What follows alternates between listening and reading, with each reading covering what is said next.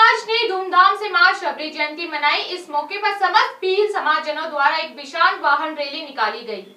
भील समाज द्वारा प्रतिवर्ष अनुसार इस वर्ष भी समाज की आराध्य देवी माता शबरी की जयंती बड़ी धूमधाम से मनाई गई। इस अवसर पर भील समाज जन द्वारा विशाल वाहन रैली का आयोजन किया गया। दो अलग अलग स्थानों से वाहन रैली निकाली गई, जिसमें एक रैली मनासा से प्रारंभ हुई, जो सावन, जवासा, रेवली देवली, गिरदोड़ा होते हुए बरखेड़ा, हाड़ा जमुनिया कला हिंगोरिया फाटक पर पहुँची।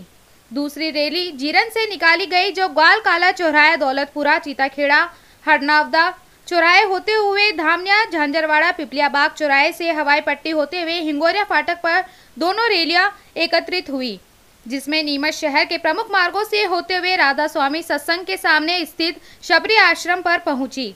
आश्रम पर समाजजन द्वारा आराध्य देवी माँ शबरी की आरती की गई और आश्रम पर धार्मिक कार्यक्रमों का आयोजन भी समाजजनों द्वारा किया गया।